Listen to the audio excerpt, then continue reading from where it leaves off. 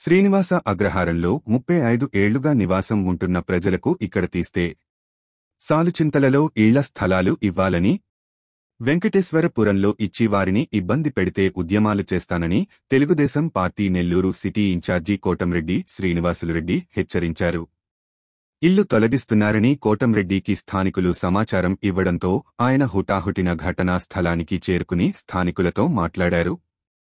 ఇల్లు తొలగించేందుకు వచ్చిన అధికారులతో మాట్లాడారు. సిటీ ఎమ్మెల్యే అనిల్ ఉద్దేశపూర్వకంగానే ఇల్లు తొలగిస్తున్నారని ఆయన ఆగ్రహం వ్యక్తం చేశారు. గతంలో చెప్పినట్లే సాలుచింతలోనే వీరికి స్థలాలు ఇవ్వాలని కోటంరెడ్డి డిమాండ్ చేశారు. అనిల్ అవసరానికో అబద్ధం అడుతూ ప్రజలను ఇబ్బంది పెడుతున్నారని మండిపడ్డారు. దీంతో కమిషనర్ హరితతో పాటు ఎస్పీ విజయరావుతో ఆయన ఫోన్లో మాట్లాడారు. జరుగుతున్న పరిస్థితిని ప్రజల కష్టాలను వారి దృష్టికి తీసుకెళ్ళారు. దీంతో స్పందించిన కమిషనర్ అధికారులను వెనక్కి రప్పిస్తామని ఆయన హామీ ఇచ్చారు. సాలు చింతలోనే వారికి ఇళ్ళ స్థలాలు ఇచ్చేలా చర్యలు తీసుకుంటామని హామీ ఇచ్చారు. దీంతో స్థానికులు కోటంరెడ్డి శ్రీనివాసులురెడ్డికి కృతజ్ఞతలు తెలిపారు.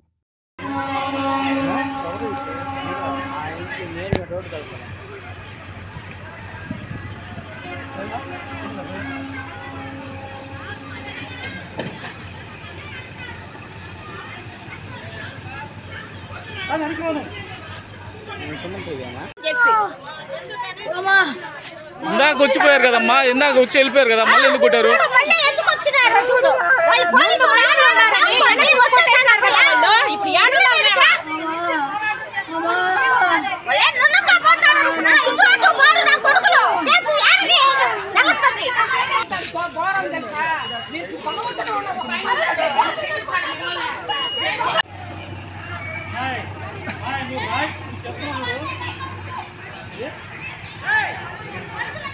ఇంట్లో మంచి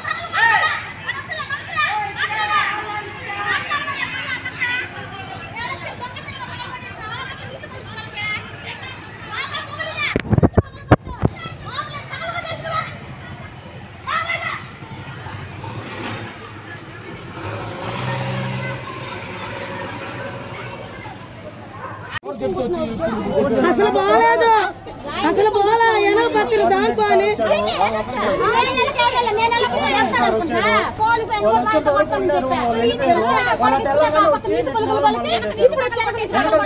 లైట్లు తీసేసి లైట్లు తీసేసి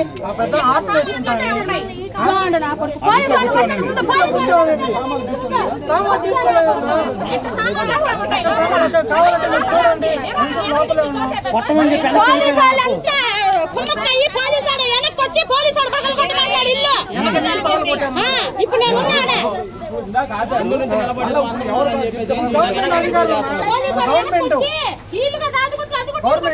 ఇంట్లో జనాలు ఉండగానే. జనాలు ఉండగానే. పగలు కొట్టేశారు ఏంది పెద్ద ఎవరు లేరు హార్ట్ పేషెంట్ అని చనిపోతే ఏంది మరి ఇంత అన్యాయమా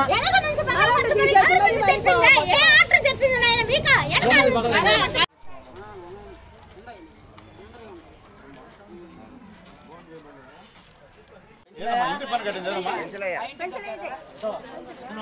కొట్టుకున్నాడు. చెప్పిందా? ఏ ఆర్డర్ చెప్పింది నాయన మీకు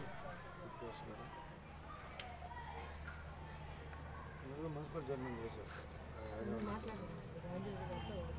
మీరు ఆ, సార్ నేను చెప్పేది వాళ్ళు అడిగిన దగ్గర ఉదయం వాళ్ళే బాగాలేకోకుంటారు మీరు కూడా కొట్టు వల్ల మీకు శ్రమ పడలే పాపం ఇంతమంది పోలీసు రాబడలే ఇబ్బంది లేదు.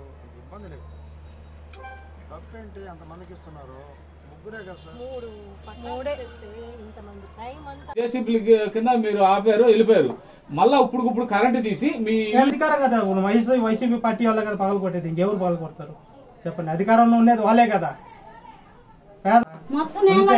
నుంచి ఇంటి వెనకాల నుంచి ఇల్లంతా పగలు కొట్టేశారు. మేము ఇంట్లోనే ఉన్నాం. ఆ? ఒక్కరొక్కరు ఇంట్లోనే ఉన్నాము మా పరిస్థితి ఏంది? ఎవరు చెప్పారు పగలగొట్టమని ఎవరు చెప్పన్నా మన ఎమ్మెల్యేనే కదా చెప్తారు. మన సుబ్బారెడ్డి గారు. ఆయన? ఆ?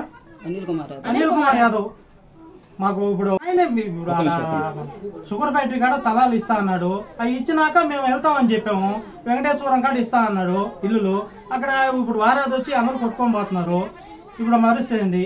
ఇప్పుడు మేము ఇల్లు స్థలం ఇస్తారన్న ఇల్లు కట్టుకోవడానికి మా పరిస్థితి లేదు. నేను కూలి పనికి పోయేవాడిని. ఎన్ని నెలల నుంచి ఉన్నారు ఇక్కడ? యాభై ఏళ్ళ నుంచి ఉన్నాం.